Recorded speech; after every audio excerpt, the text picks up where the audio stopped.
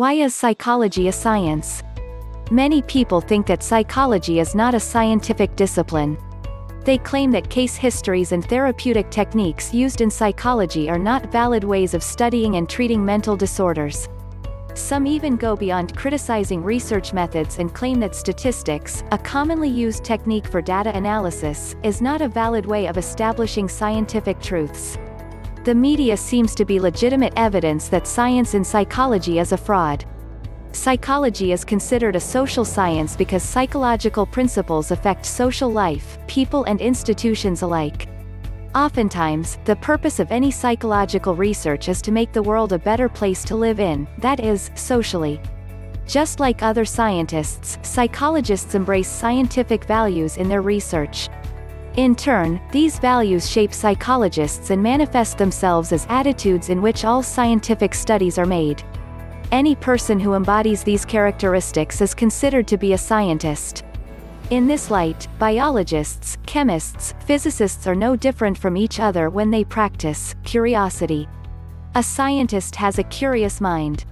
He constantly finds interest in anything related to his field of study. For instance, psychologists are eternally interested in find out the causes of behaviors and mental processes. Skepticism. A scientist does not accept claims at face value. He digs deep and questions supposed truths and assumptions made in his field of study. For instance, psychologists challenge sweeping and simplistic claims on the nature of personality and intelligence. Objectivity. Human language is said to be full of ambiguity.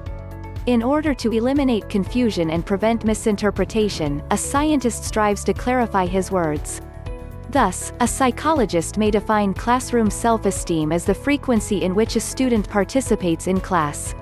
Critical thinking. A scientist is critical not just of other people's work, but also of himself. He evaluates the evidence and the method rigorously, identifying both the strengths and weaknesses of a research study. For example, psychologists typically include recommendations at the last part of their research studies to indicate how future studies can improve upon them. Thus, psychologists do not try to hide the limitations of their studies, but instead exposes them to help consumers make informed choices about their studies. Some disciplines in psychology are straightforwardly sciences, and some are less so. Please note that I'm treating something, being a science, as having the characteristics of sciences. There's a US tendency to treat science merely as a status award, showing the activity is approved of, in much the same way that something might be called art. I'm not using that definition, because it doesn't produce a useful result for this question. Definitely a science animal behavior, under some of the strictest controls for any science experiment ever, the relationship between experimental conditions and observable behavior is rigorously analyzed, it follows the experimental method, uses the same format for its experiments as biology or chemistry, and is famously cautious in its conclusions. Cognitive psychology builds models of human behavior and then tests them under controlled conditions.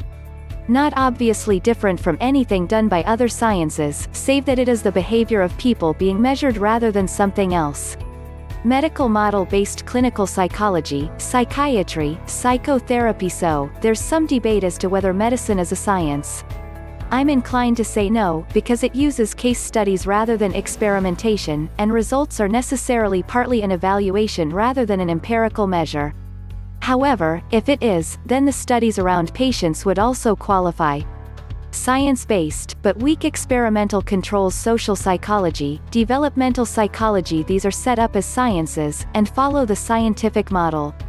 However, they have great difficulty enforcing proper experimental controls, because to put the subjects in a controlled environment will itself influence their behavior.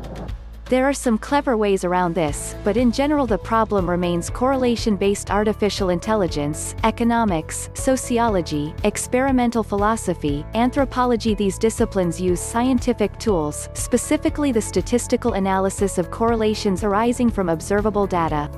However, they don't practice proper experimental controls, and they often rely on single-instance case studies, such as specific groups, historical instances or particular systems. As such their analysis shows that particular things are correlated, but doesn't show anything more. The meat of the work tends to be informed speculation around the correlations. Not science, no not even a little bit mathematics, philosophy, politics these disciplines are around working out the logical consequences of certain beliefs or axioms. They can make use of observation and measurement, but rarely rely on it.